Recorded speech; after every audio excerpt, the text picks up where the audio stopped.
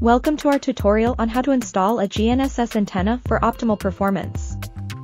Proper setup is crucial as even small errors can significantly affect the accuracy of your results.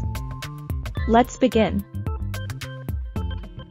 Sometimes you may notice that the accuracy of your receiver is less than optimal, which can be caused by factors such as obstruction of the sky, multipath effects, local interference, or environmental influences such as airflow or direct sunlight.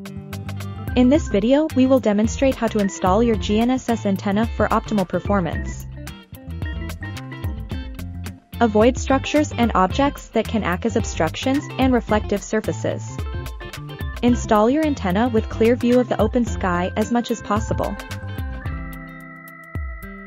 If you want to install the antenna on your car or tractor, the best place will be on the top of your vehicle. Windows and roof of the vehicle can reduce GNSS signal and obstruct sky view. In situations where buildings obstruct the view of the sky, the available satellites may be clustered in certain regions of the sky, leading to poor geometry, and the accuracy will be lower. For surveyors, positioning your antenna at a street crossing typically produces better results than placing it between two buildings. In the case of autonomous vehicles, if you need to stop for sensor recalibration, it is better to choose a location away from trees or adjacent buildings.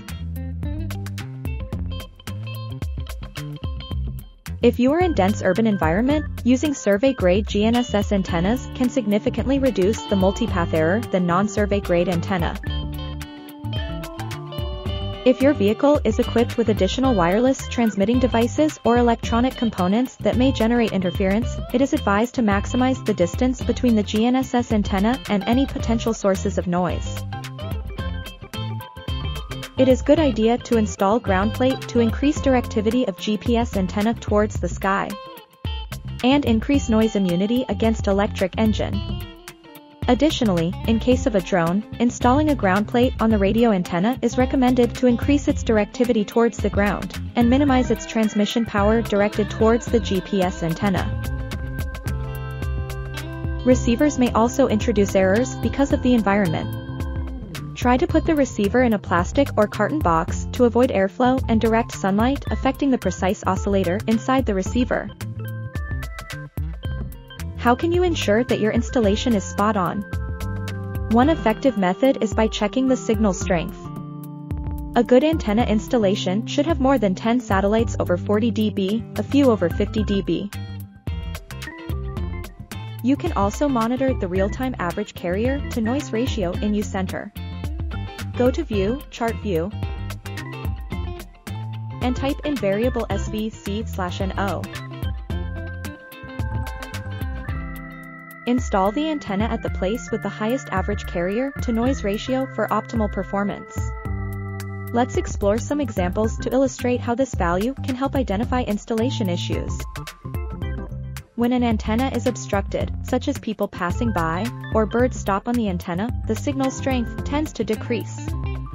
This decrease occurs because the obstructing objects interfere with the reception of satellite signals. If the antenna falls down, the signal will also decrease significantly.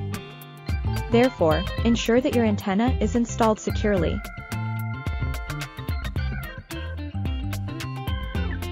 If we place the antenna close to a wall, we can observe that the signal is much weaker compared to when it's positioned farther away from the wall. So it's best to install your antenna in a wide open area. In summary, for optimal GNSS antenna installation, start by selecting a location with an unobstructed view of the sky, avoiding obstacles and multipath interference.